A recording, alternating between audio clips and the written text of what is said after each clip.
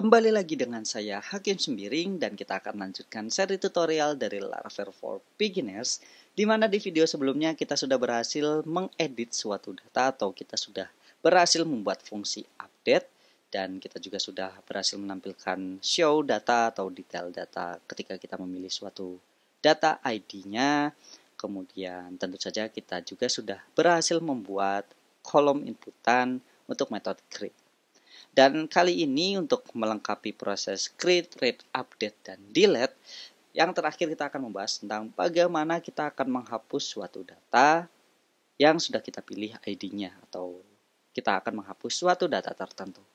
Dan saya ingatkan kembali untuk teman-teman jangan lupa akses situs kami di idstack.net untuk melihat update-update seri tutorial lainnya dan teman-teman bisa kirimkan Eh, kendala atau pesan error melalui komentar-komentar di dalam situs tersebut atau jika mengalami kendala ketika mengakses situs ini teman-teman bisa akses kontaknya di bawah. Kita bisa mengakses ke fanpage idstack.net ke telegram kita atau ke instagram. Bisa teman-teman bebas mengkontak kami. Oke dan langsung saja kita akan membuat fungsi delete pada data post yang sudah kita buat di sini. Oke, langsung saja kita bisa buka text editor kita dan kita bisa lihat di dalam post controller kita masih memiliki suatu metode yaitu destroy di sini.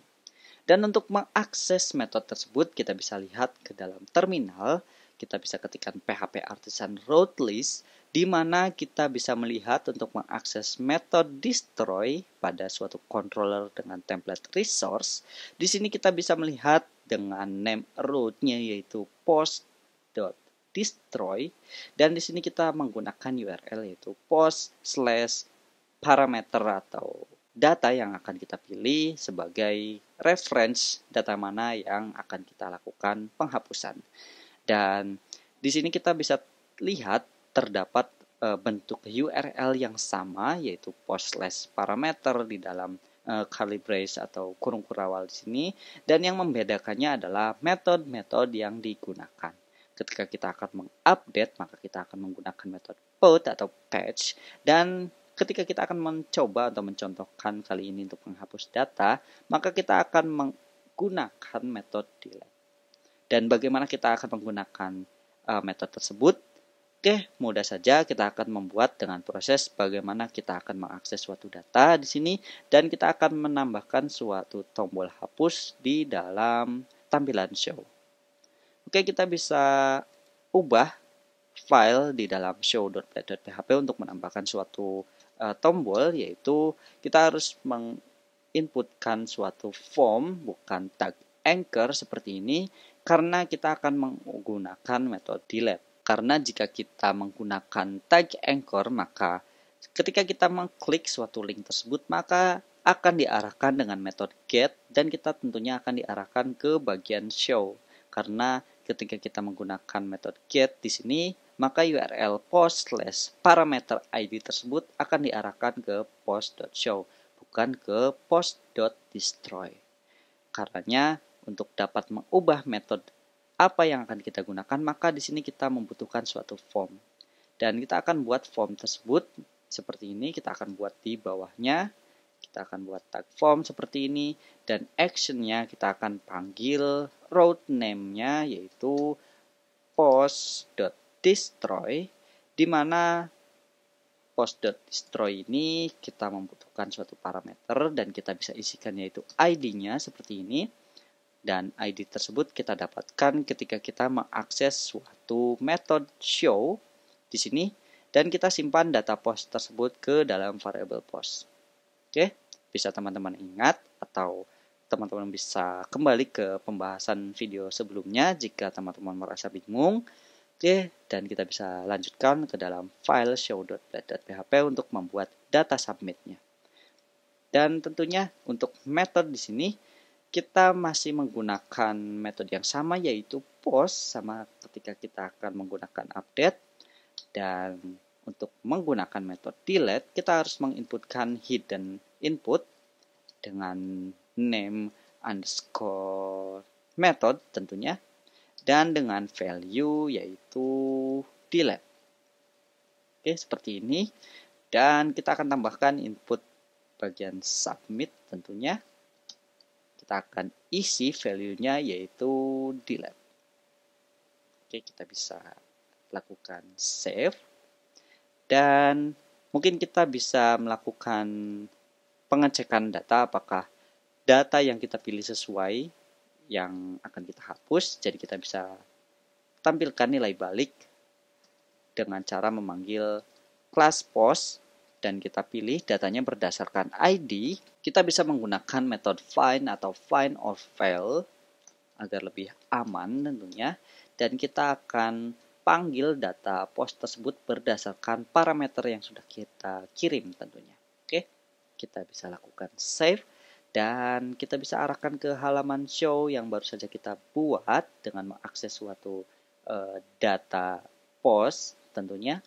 Oke, kita bisa mengakses dengan ID 1 dan jika teman-teman lihat di sini terdapat uh, tombol delete. Oke, mungkin kita bisa memasukkan uh, link edit ini ke dalam form tersebut agar bisa sejajar. Kita bisa kembali ke dalam text editor dan kita ubah di bagian show.play.php Oke, kita bisa masukkan link tersebut. Oke, kita bisa letakkan di sini. Kita buat pemisah. Oke, kita bisa lakukan save dan kita bisa kembali ke dalam browser. Kita lakukan reload. Oke, di sini kita melihat uh, cukup rapi. Dan ketika kita coba untuk mengklik tombol delete, apakah yang terjadi? Oke, di sini mendapatkan suatu pesan error. Kenapa? Karena kita belum menambahkan CSRF field yang sebelum-sebelumnya kita sudah contohkan.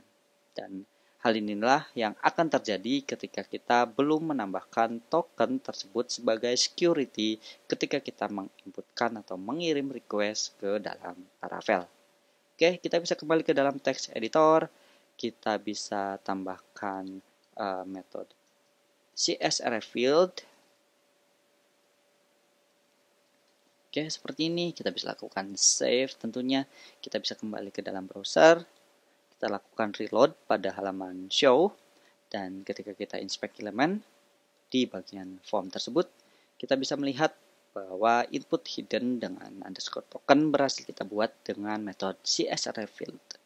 Oke, kita coba kembali menekan tombol delete dan bisa teman-teman lihat di sini kita berhasil mengarahkan ke URL atau proses metode delete tentunya kita menampilkan return data atau pengembalian data ID post yang kita pilih. Oke, dan bagaimana kita akan menghapus data yang sudah kita pilih di sini? Kita bisa kembali ke dalam text editor kita dan kita akan melakukan perubahan di sini di mana kita akan menyimpan ke dalam suatu variabel untuk menghapus suatu data yang sudah kita pilih di sini atau kita melakukan suatu instant object ke dalam variable post. Dan tentunya kita akan memanggil variable post tersebut untuk kita lakukan proses delete dengan memanggil metode delete di sini. Seperti ini. Dan ketika kita berhasil melakukan proses delete pada data tersebut kita harus melakukan redirect atau kita akan kembali ke dalam halaman utama di mana akan menampilkan suatu data-data post yang tersedia kita akan arahkan ke dalam URL dengan route name yaitu post.index seperti ini dan kita bisa lakukan save dan kita akan coba halaman uh, delete tersebut. Kita bisa kembali ke dalam browser. Kita bisa lakukan uh, reload atau kita bisa mengakses ke suatu data post. Kita arahkan ke suatu data. Mungkin kita bisa pilih dengan ID 1 dan kita bisa tekan tombol delete apa yang terjadi. Oke Proses delete pada ID 1 tersebut berhasil kita lakukan. Mungkin kita bisa coba uh, delete dengan ID 23 di sini. Kita bisa tekan tombol delete lagi. Apakah berhasil kita delete? Oke, data tersebut kita berhasil hapus. Dan kali ini kita berhasil melakukan proses delete. Proses tersebut sebagai metode akhir pada template resource yang ada di dalam post controller atau suatu controller yang menggunakan template resource. Tentunya URL-URL yang akan mengarahkan ke metode-metode tersebut kita deklarasikan di dalam file web PHP dengan metode root yang kita gunakan yaitu metode resource dengan parameter pertama yaitu URL yang akan kita gunakan dan parameter kedua yaitu controller mana yang akan melakukan logic-logic tersebut. Oke, proses dari simple CRUD di sini kita berhasil melakukannya dan kita sudah berhasil membuat suatu aplikasi sederhana yang di mana aplikasi-aplikasi lainnya tentu saja tidak lepas dari proses CRUD ini.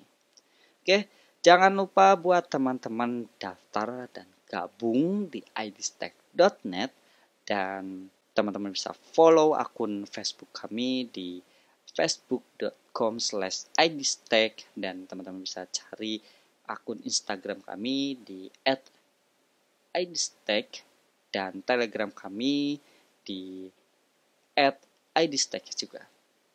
Oke, sampai jumpa pada video-video tutorial lainnya.